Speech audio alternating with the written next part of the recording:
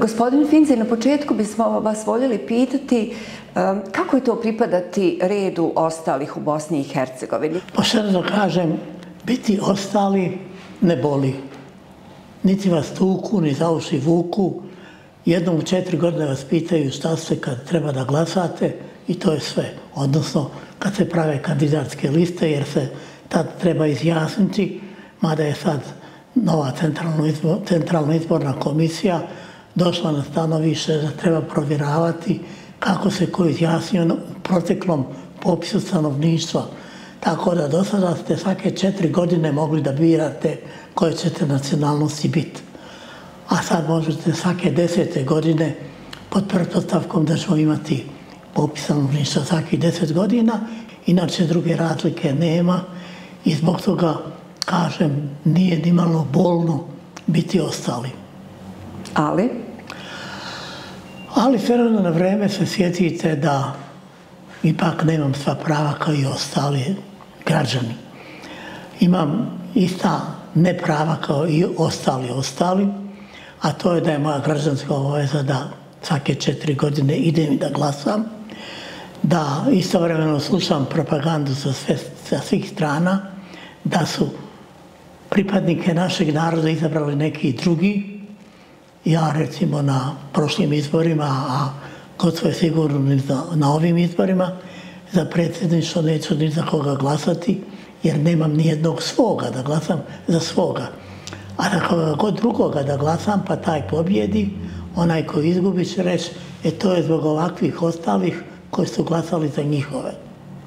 To mi ne treba, onda je jeftinije ubaciti prazan glasački listić što se tiče predsjedništva. Ali ipak presuda u vašem slučaju pred sudom, Evropskim sudom za ljudska prava još uvijek nije implementirana. Evo, već 14. godina. E, možete li nam pojasniti zašto nije implementirana? I šta je zapravo ta presuda trebala e, donijeti? Ta presuda je trebala da sve građane Bosne i Hercegovine učini jednakima. Neki misli da se radi samo o Romima i Jevrejama, odnosno pripadnicima manjinskih grupa.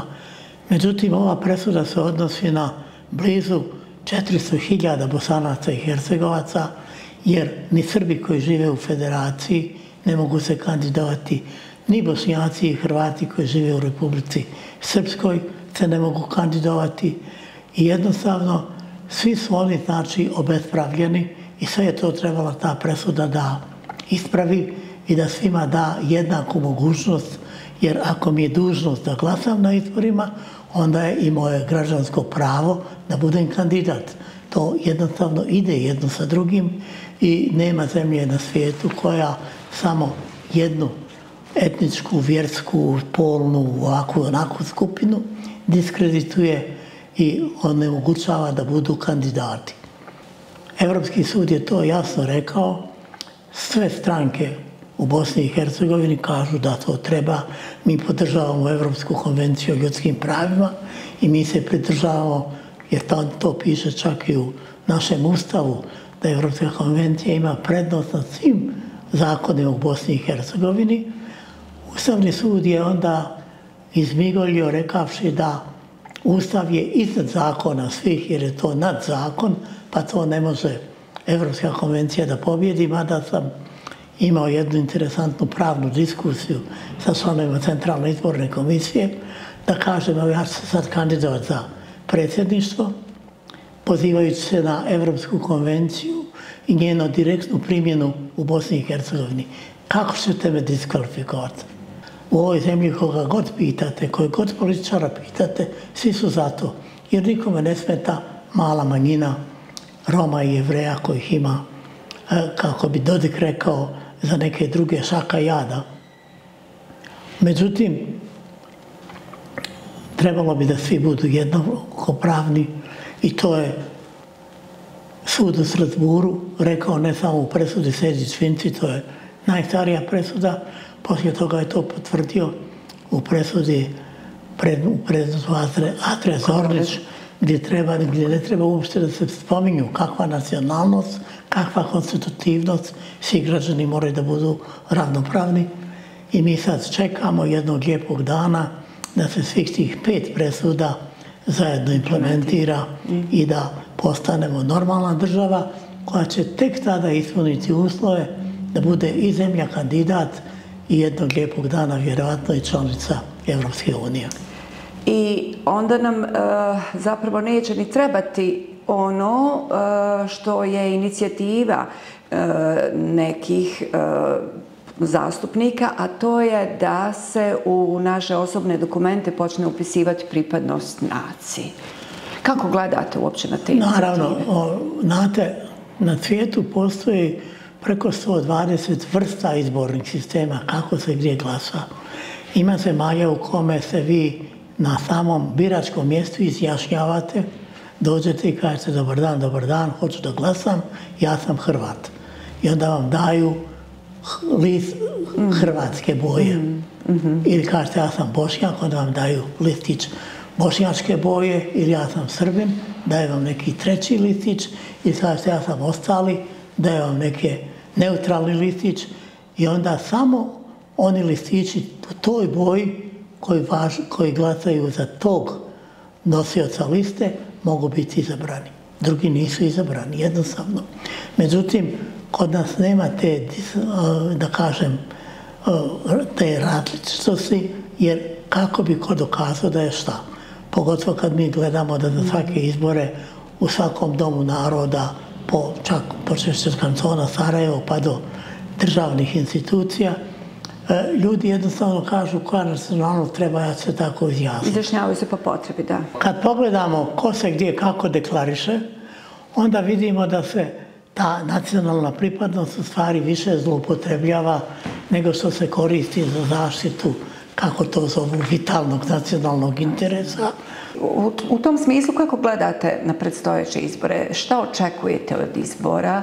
Mislite li da će biti transparentni makar u skladu s onim što je do sada već nametnuto od strane visokog predstavnika? Pa u svakom slučaju mislim da će i visoki predstavnik i centralna izborna komisija u svim ovim svojim pokušajima da su napravili neke pomake da bi izbori bili transparentni i da se, kako kažu, manje krade nego do sada. Jer je i do sada bilo poznato da se na svim izborima, ne samo kod nas, nego evo, od američkih izbora na ovamo, svi kažu kradu na izborima, pa nismo ni mi mimo svijeta da se kod nas ne krade. Međutim, da će toga biti manje. Ono što bi me obradovalo, to je kad bi izlaznost bila veća. Naravno, mi ne možemo postići izlaznost u nekom velikom postotku kako je to nekad davno bilo da bude 80-90%, jer jednostavno imamo na biračkom spisku puno više stanovnika nego što imamo živih bosanaca i hercegovaca u ovoj zemlji. E, preko 3 miliona ih ima na biračkom spisku. Zašto? Zato što kogod ikad dođe ovdje i izradi recimo ličnu kartu koja mu treba za stotinu drugih stvari, automatski se upisuje na birački spisak i bez obzira što nikad nije glasao, nikad se s tog spiska ne briše. Druga je poteškoća što se čini se ni umrli ne brišu s tog spiska, jer opštine ne šalju u centralni birački spisak podatak da je taj i taj građanin upisan sa podmatičnim brojem tim i tim preminuo i više ga nema. Mi imamo to vrlo čudno regulisano, tako da jednostavno ne znam dokada ćemo rasti, ali statistički broj, broj državljana ove zemlje, broj građana stalno raste, a mi vidimo da nas je na teritoriju na kojoj živimo sve manje i manje i vidimo da su autobusi koji odlaze iz ove zemlje u druge zemlje sa ljudima koji odlaze sa koferima za uvijek, jednostavno su puni. Ali tu ima jedan objektivni razlog, a to je, e, čini se jedna sveopća letargija i e, jedno pomanjkanje političke participacije koje je upravo rezultat te letargije. Ljudi su izgubili povjerenje. Pa znate, ja uvijek kad govorim sa mladim ljudima, nagovaram ih, glasajte, u tome leži vaša budućnost. Oni kažu, moj glas svakako ništa ne vredi, nikome ne sluša, neću da glasam, čekam samo da završim fakultet, pa da se ispalim, što je popularan izraz za odlazak odavde. I to je ono što je žalostno, ali nažalost čini se istinito, jer ako ne glasaju, ne mogu mladi ne biti izabrani. Međutim, sad sve političke stranke računaju na mlade ljude, stavljaju na kandidatske liste mlade ljude, e nadam se da će ti mladi ljudi pozitivno i odgovoriti i glasati na sljedećim izborima. Znamo da e, postoje određene aktivnosti koje Evreska općina radi na animiranju mladih ljudi. I da se, da tako kažemo, korpus, zajednica, na taj način zapravo um, omasovljava, ukoliko je moguće to reći. Pa, zajednica se omasovljava na taj način što su naši mladi ljudi koji su odavde kao djeca evakuisani da bi izbjegli granate i snajpere koji su po Sarajevu harali, odrasli su i vratili su se. Završili su školu i onda su valjda odlučili da ostanu ovdje jer se radi o mladim ljudima, školovanim ljudima, ljudima koji znaju posao i koji znaju jezik. Nema nezaposlenih među njima, svi su zaposlili, počeli su da se žene i počeli su da dobijaju djecu. I to je ono u čemu je naša nada. Naša je nada znači u generaciji koja dolazi. Moram reći da je ovdje u zadnjih 30 godina, znači od rata na ovamo, prvi 25 godina se rodilo ne više od 20 djece od cijele jevrejske opštine. A onda je ovih zadnjih, da kažem, 5 godina smo dobili 57 novih članova. 57 beba se rodilo, te bebe će jednog dana kad odrastu, nadam se, kao njihovi roditelji, ostati ovdje, glasati ovdje i onda ćemo i mi imati za koga da glasamo, imat ćemo razloga i kako da ih nagovaramo da glasaju, da svima bude bolje, da svi budemo jednaki i da svi budemo svoj na svom, jer je ovo između ostaloga i naša zemlja. Vi ste možda najpozvanija osoba koja može komentirati ove užasne izjave, e, potpuno pogrešne i neutemeljene, da suživot između kršćana i muslimana ne može postojati. Pa ne treba više nego pogledati Sarajevo u kome su, kako kažu, katolička i pravoslavna crkva i džamija i sinagoga jedni do drugi u 200 metara i vide se s prozora jedna drugu i nikad nisu rušene, nikad nisu bombardovane, nikad nisu minirane. Znači, može se zajedno. Može se i živjeti zajedno i živi se zajedno. Dovoljno je reći da se tom, tim što je došle neke nove stranke na vlast, nije prestao ovdje život ljudi međusobno. Još uvijek imamo misovitih brakova, još uvijek se ne pita koje si vjere, nego voliš li me, jer to je preduslov da se sklopi brak, a ne samo da budeš moje nacionalnosti ili moje vjere. Prema tome, te izjave su vrlo neutemeljene, ne samo za Bosnu i Hercegovinu, rekao bih i za svijet, jer malo je teško naći etnički čistu državu. Državu u kojoj žive samo jedna nacija, samo jedna vjera i niko drugi. Danas je ta fluktuacija, ta, to kretanje ljudi e, tako da svi se kreću, svi traže nešto bolje. Ne idu svi ni u zapadnu Evropu. Evropljani idu u Ameriku, Amerikanci dolaze ovdje ili idu negdje na Bliski istok. Idu tamo gdje misle da im je bolje i svi se svugdje normalno osjećaju jer ih niko ne pita a šta si ti po nacionalnosti Isto kao što naše ljude kad dođu na rad u Njemačku, a nažalost ili na sreću ide ih dosta, kad tamo dođu niko ih ne pita kom ti nad konstitutivnom narodu pripadaš, nego ga pita znaš li raditi. Ako znaš, hvataj se posla i radi.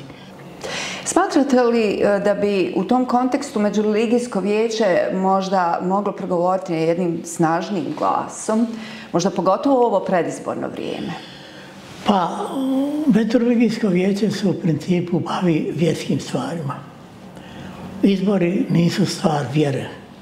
Izbori su stvar svakog građanina i njegovog ličnog opredelenja, tako da Meteorologijsko vijeće bi samo moglo da uputi poziv svim vjernicima da izađu na izbore i da svojim glasom odluče svoju sudbinu. a ne za koga će glasati, kako će glasati, glasajte za naše, nemojte za njihove i obrnuto. Međutim, mislim da to neće uraditi meteorologijsko vijeće, jer bi onda bilo, da kažem, kritikovano da se miješa u stvari koje nisu njegov posao. Nažalost, kod nas se politika puno miješa u vjeru i u religiju, pa bi bilo normalno da se religija miješa u politiku, ali srećom to nije tako. Barem ne na javnoj sceni. Onda makar možemo vas kao pojedinca pitati ukratko kakva je vaša poruka građanima. Izrađite se na izbore i glasajte za onoga za koga mislite da može da vam pomogne da vam bude bolje. Jer mi znamo da nam je iz dana u dana sve gore. Da teško živimo, da se stalno brinemo šta će biti sutra, ali imamo tu nesreću da smo imali rat i da znamo da je u ratu bilo sve puno gore nego što je sad. I sad smo zadovoljni sa tri male stvari. Imamo struju, imamo vodu i niko ne puca na nas. I nama je dobro. To što su male penzije, to je što je skupo sve u, što se teško veže kraj s krajem. Sreća je to penzije, koliko god da su male, svakog petog u mjesecu se dijele pomoću nekog čarovnog štapića. Međutim, ljudi žive, imamo djecu koja su nažalost otišla od nas, a mnogi se i raduju što nisu ovdje jer ne vide ovdje njihovu perspektivu, pa tu i tamo šalju i neku pomoć. Mi znamo da ti, ta naša dijaspora, a ta dijaspora su nažalost naša djeca, odvajaju kod puta i od usta da bi nama nešto pomogli. Tako da sve u svemu nema druge nego glasati za one za koje mislimo da će nam pomoći. Ne treba puno slušati sve ovo što nam sad govore u predizbornim kampanjama, jer predizborna kampanja se ne svodi na to da vam kažem šta ću ja raditi ako me izaberete, nego da vam objasnim zašto vam je loše, jer ste prošli put niste glasali za mene, nego za one druge. Tako da je u stvari negativna kampanja u kojoj vam samo govore zašto oni drugi ne valjaju, a ne kažu da li će oni to sve da isprave, jer vidimo ovu statistiku kako je mali postotak predizbornih obećanja obe, o, ispunjen. U ostalom ne kaže se džaba da u predizbornoj kampanji i ljubavi možeš lagati koliko hoćeš. Hvala vam puno. Hvala vam. Hvala.